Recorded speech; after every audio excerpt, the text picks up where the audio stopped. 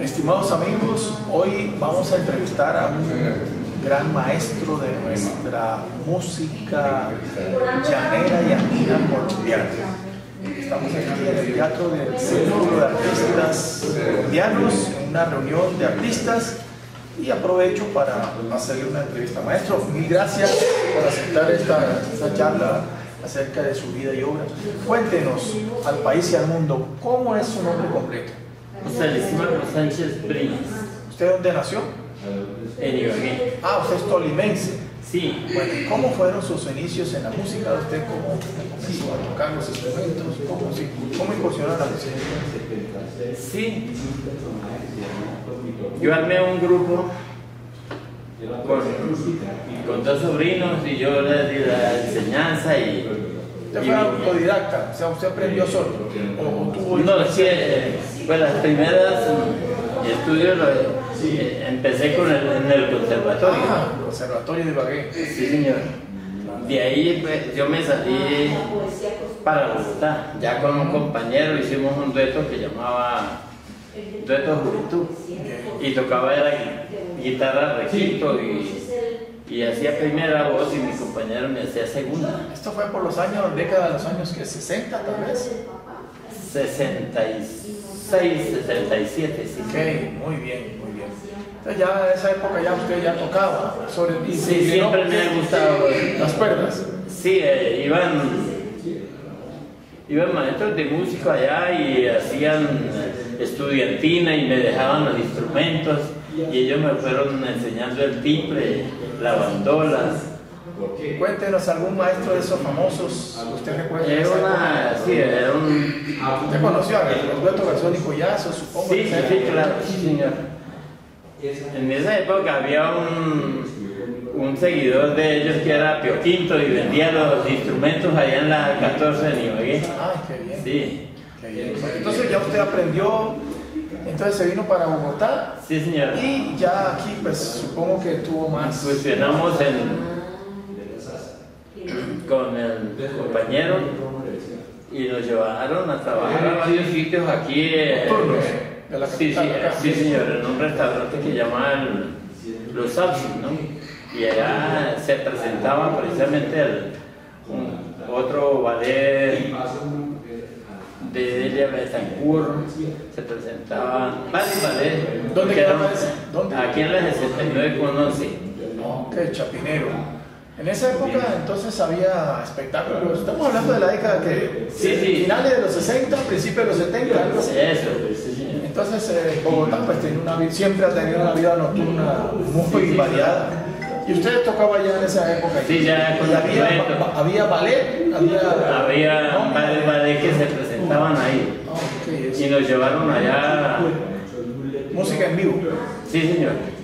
¿En De qué esa música colombiana. Ah, El bambuco, el pasillo, tocaba. Soy colombiano, Ah, la bambucos. cubana, los Ah. arrieros, toda esa música, toda esa música vieja. Pero era para extranjeros, para turistas o para. Ese restaurante se, se destacó bastante porque ese señor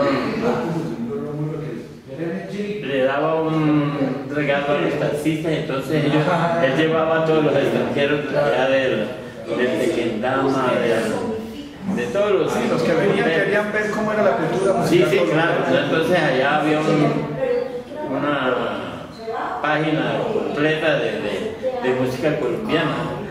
Cantaba hasta un señor, un tenor, eh, era Jesús Rincón. Ah, Jesús Rincón. Bueno, él fue Sí, de los más grandes gestores culturales, ya fallecieron, eh, y su hermano también. Se presentaba con, con su trío que lo acompañaba y entonces Fue ganador de, él, él fue quien impulsó el Premio Nacional de Vida y Obra de los Artistas. Yo lo conocí, tenor.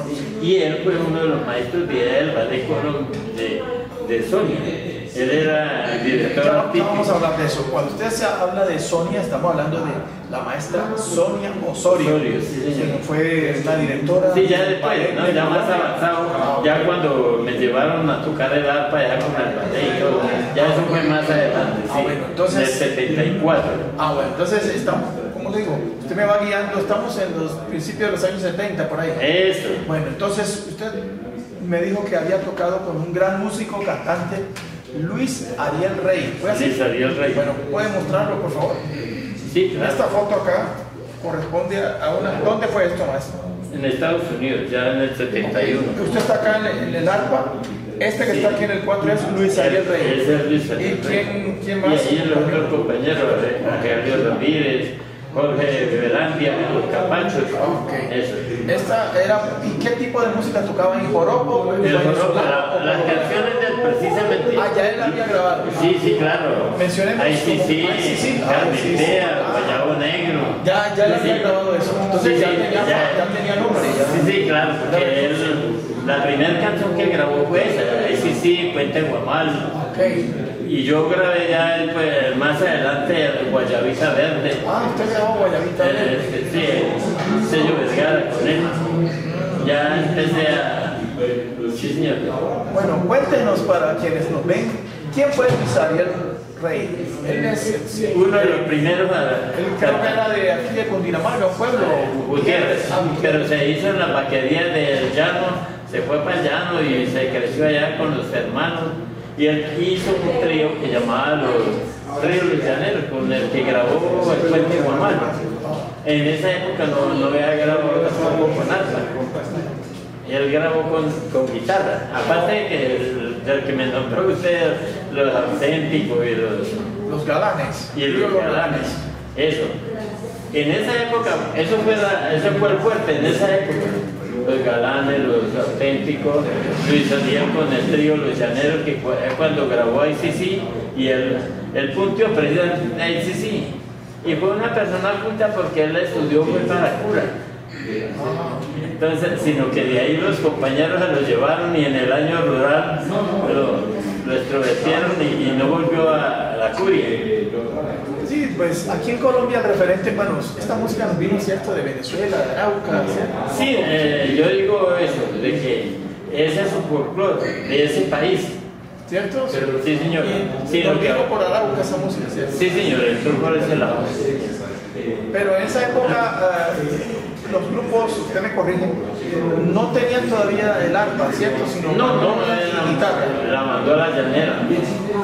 Había un un bandolista que fue el, ahora hace poco le hicieron un homenaje a Selmo López y con ellos fue que vinieron a hacer muchas excursiones siempre en los festivales y de allá pues también han venido conjuntos venezolanos ¿y usted tenía influencia de quién en el ARPA? ¿quién escuchaba en esa época? ¿Los de Venezuela? ¿o ya aquí había...? Sí, bueno, yo he venido autodidacta pero estudiando porque la, la ARPA entró a Colombia o aquí a Sudamérica por los jesuitas. Eso entró fue por Centroamérica, México, el estado de la Cruz, de allá se extendió a Venezuela. y todo eso, Zapatero y todas esas cosas. Eso, todo eso es de origen europeo.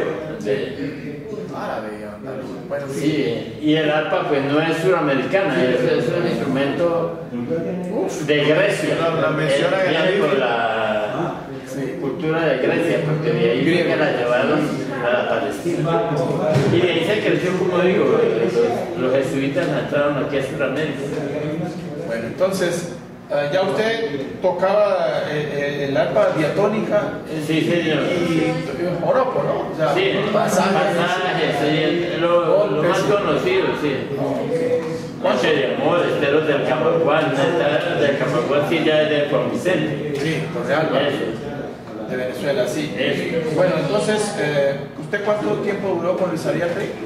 Yo duré hasta cuando él se murió, a mayo del 75. Okay. Y con él viajé y íbamos para una gira internacional también, ¿De qué murió Luis Ariel Infarto.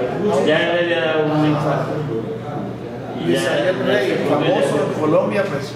Sí, el mejor cantante de, de, Colombia, porque, como le digo, él era él, estudió. Y en la curia, pues ellos aprenden, les enseñan música. Y él estuvo de maestro aquí en Bogotá, aquí en Venecia, en un colegio de Venecia. Era maestro de música. Sí. Allá estuve con él también. Bueno, entonces usted ya termina ese ciclo con Luis Ariel Rey. ¿Qué sigue en su vida musical? Ahí sí. No, ahí me, me llamó Delia Zapata. Ah, Delia para Zapata hacer la primera gira a, a Francia, México y España. Usted iba en esa delegación como, como artista. Sí, señor. Ah, bueno, cuéntenos, ¿a qué países visitaron? ¿Dónde asistieron? Sí, viajamos a Francia, Sí. España y, y México también. Estuvimos tocando la pedagógica precisamente. Y, eh, y, y últimamente con ella también hicimos la última gira, o yo hice la última gira, fue a New York, Santa Carolina y Chicago. Pero las otras giras grandes yo viajé con, con, con Sonia. Ok, pero entonces hablemos por parte. Aquí habrá fotos con Delia Zapata. Sí, sí, sí, sí. Sí, ya la- Entonces, venga, pero vamos hablando mientras vamos buscando la foto. sí. ¿Cómo era un viaje con, con Delia?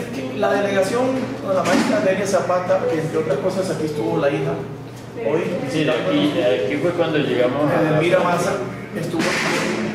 Ah, Ese- ¿Cómo era la delegación? ¿Qué músicos? Ahí llegamos a Esta es una foto de la delegación de Delia Zapata Olivella. Sí, sí, ¿Qué, sí. qué músicos hacen? Mira, aquí está. Dale, dale. Estos. Recuérdenos qué músicos iban en esa delegación. va Jaime Sá, eh, iba este señor, ¿no? Ah, pero de llaneros. Y, y No, ella, llanero no. ¿Y ella? Era Ah. Solamente de Ella, llevaba allí eh, músicos costeños también. Ah, sí, claro, sí. Ese, los, los tamboreros. ¿Recuerdan si iba Batata o uno negro de Paleje? No. Batata iba era pero con Sonia. Ah, con Sonia, sí, sí, sí. Sí. Ah, bueno, entonces ella llegaba- llevaba una delegación de músicas colombianas. Sí, señor. Y usted iba en el arpa. Sí, señor. Y con el tiple.